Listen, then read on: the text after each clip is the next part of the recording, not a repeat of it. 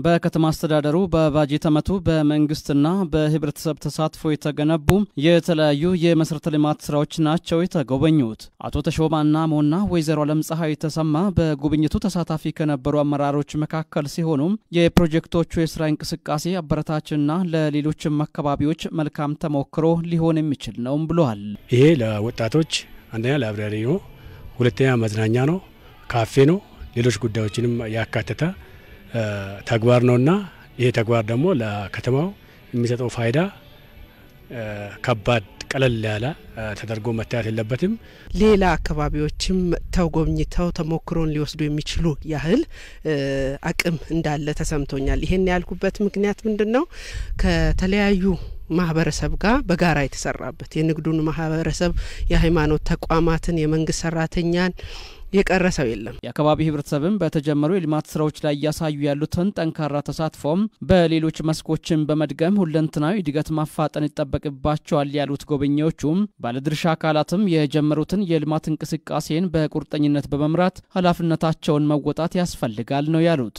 በተለይ በዚህ በውሃ infrastructure ላይ ሆነ መንገድ መሰረተ ልማት ላይም ቢሆን ቴክኒካሊ ዛ የተደረጉ ሰዎች በቅንነት ህዝብን ማገልገል ከውስብስብ ችግሮች ነጻ ወጥቶ ከሙስና፣ ከሌብነት፣ ከብልሹ አሰራር ነጻ ሆኖ ህዝብን ማገልገል ይጠይቃል የሚል አስተያየት ነው የምኖረኝ። አቶ ይልማ ሰጎሬ በከተማው የህብረተሰብ ተሳትፎ ኮሚቴ አስተባባሪ ሲሆኑም ከሀገር ውስጥ ጀምሮ እስከ ውጭ ድረስ ማህበረሰቡንና የአካባቢውን ተወላጆች በማስተባበር በከተማው በተጀመሩ የልማት ስራዎች ላይ የድርሻችንን እየተወጣን እንገኛለን ብለዋል። በከተማ አስተዳደሩ የተጀመሩ የልማት ስራዎች መጎበኘታቸው እንዳስደሰታቸው የገለጹት አስተባባሪውም በቀጣይም ተሳትፏቸውን አጠናክሮ እንደሚቀጥሉም አረጋግጠዋል። ብዙ ጊዜ ስራዎች ተሰርተው ሳይታዩ ሳይታወቁ ይቀርና ምንም እንዳልተሰራ ይቆጠራል። ስለዚህ ይህን ስራ እያስተባበርን እንገኛለን። ቀጣዩን እንግዲህ ህብረተሰቡ መንግስት በመተባበር ዞኑም፣ ክልሉም የከተማ አስተዳደርን በመተባበር ህዝቡን በማስተባበር የምንሰራው ስራ ነው። በዕለቱም ባለ አምስት ወለል የከተማ አስተዳደር ህንፃ መስሪያ መሰረተ ድንጋይ በዞኑ ዋና አስተዳዳሪ በአቶ አብርሃም መጫና በከተማ አስተዳደሩ ከንቲባ በአቶ ሳሙኤል ባንጡራ የተቀመጠ ሲሆን ይህም የሚስተዋለውን የቢሮ ችግሮችን የሚቀርፍ ነውም ተብሏል።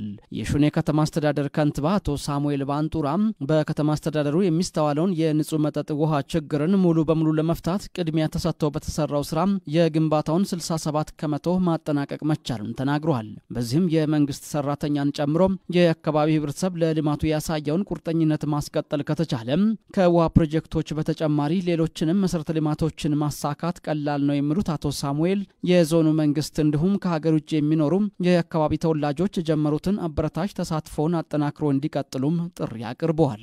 ለውሃ ፕሮጀክት ብቻም ሳይሆን ዛሬ የተጣለው መሰረተ ድንጋይ ህንፃ ለመስራት ነው። ይህ ህንፃ ደግሞ ብዙ ችግሮችን ይፈታል ተብሎ የሚታሰብ ነው።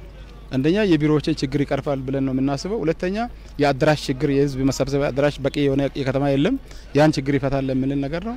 so እነዛንና ሌሎች ልማቶችን ለማሳካት ህዝቡ ትናንት ከጎናችን የነበረው ህዝብ ዛሬም ነገም ከጎናችን ከሆነ ለዚህ ከተማ ብዙ ልማት መስራት ይቻላል። የዞኑ ዋና አስተዳዳሪ አቶ አብርሃም መጫ በዚህ ወቅት እንደተናገሩት እየተሰሩ ባሉ በልማት ስራዎችና በቀጣይም በሚሰሩም የልማት ስራዎች ላይ የዞኑ አስተዳደር የበኩሉን ድጋፍ አጠናክሮ እንደሚቀጥል አስታውቀዋል።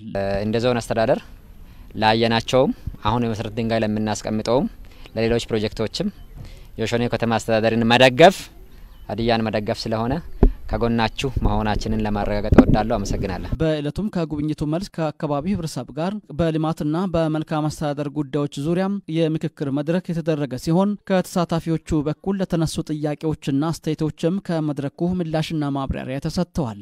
በልማት ስራ ንቁ ተሳትፎ ላደረጉ አካላትም የምስጋናና የእውቅና ሰርቲፊኬት ተበርክቶላቸዋል።